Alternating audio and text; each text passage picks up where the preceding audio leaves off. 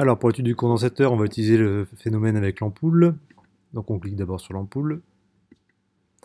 On arrive sur une simulation. Alors ici on peut jouer sur l'écartement entre les plaques.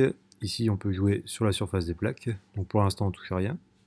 Ici on a un interrupteur qui permet d'ouvrir le circuit, de le fermer dans chacun des deux sens. Donc là je vais l'ouvrir pour l'instant.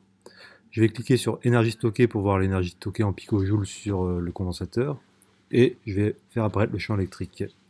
Dans la première partie, on nous demande par exemple de fixer la tension à 1,5 volts. Donc ce qu'on peut faire, c'est fermer l'interrupteur et fixer la tension à 1,5 volts. Et donc on peut observer les charges sur les deux plates des condensateurs, la direction du champ électrique. On peut jouer sur les distances et on peut utiliser le voltmètre le cas échéant si on doit mesurer des tensions. Ensuite, pour la suite du TP, il vous suffit de basculer l'interrupteur là où, on vous demande pardon, de basculer pour pouvoir euh, répondre aux questions.